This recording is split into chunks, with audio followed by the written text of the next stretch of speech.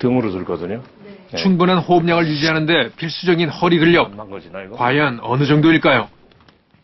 성악가가 피아노 들기를 시도했습니다. 이거 한 7, 800kg?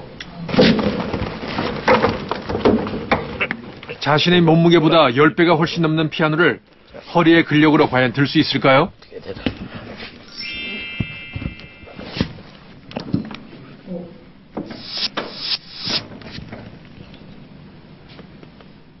거뜬하게 허리 힘으로 들어올린 성악가. 뭐 이런 거죠.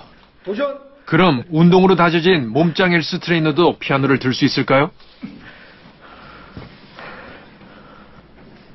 온 힘을 다해보지만 전혀 미동도 하지 않습니다.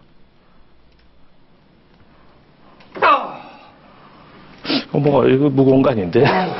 많이 힘들던가요? 아, 많이 힘든 게 아니라 솔직히 들질 못하겠어요. 예. 다른 자리지. 교수님 대단하세요. 아. 노래를 부르는데 필요한 허리 힘. 이 근력은 정확히 어떤 역할을 할까? 숨을 오랫동안 끌을 수 있다는 건 결국 뭐냐면 자기 몸이 빨리 어, 수축이 되면 안 되는 거죠. 수축되는 시간을 더 지연시켜야죠. 그러기 위해서는 버티는 거예요, 몸을.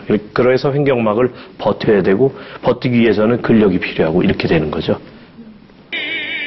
호흡과 공명을 최대한 활용하는 성악가의 발성은 복부의 유연함과 근력을 동시에 갖춰야만 가능하다고 합니다.